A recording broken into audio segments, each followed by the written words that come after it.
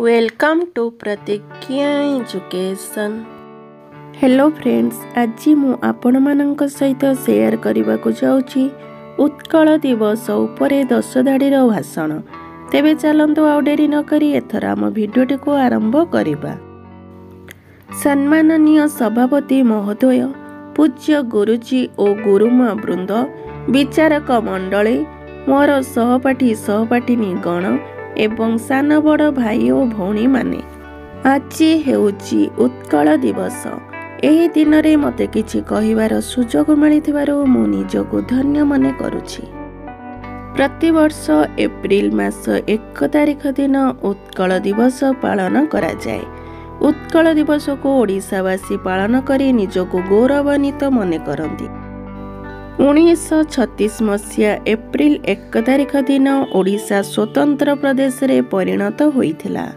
ପନ୍ଦରଶହ ଅଠାବନ ମସିହାରେ ଓଡ଼ିଶାର ଶେଷ ରାଜା ମୁକୁନ୍ଦ ଦେବଙ୍କ ମୃତ୍ୟୁ ପରେ ଓଡ଼ିଶା ଖଣ୍ଡ ବିଖଣ୍ଡିତ ହୋଇ ପଡ଼ୋଶୀ ରାଜ୍ୟମାନଙ୍କ ସହ ମିଶି ଯାଇଥିଲା ଓଡ଼ିଶାକୁ ସ୍ୱତନ୍ତ୍ର ରାଜ୍ୟ ଗଠନରେ ଉତ୍କଳ ସମ୍ମିଳନୀ ମୁଖ୍ୟ ଭୂମିକା ଗ୍ରହଣ କରିଥିଲା।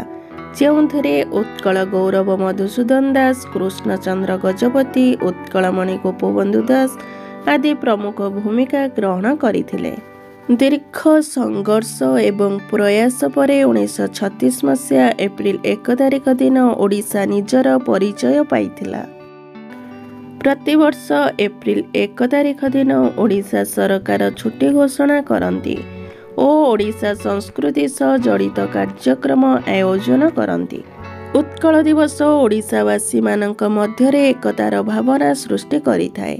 ମୁଁ ଏତିକି କହି ମୋର ବକ୍ତବ୍ୟ ଶେଷ କରୁଛି। Bande Utkala Janani. Thanks for watching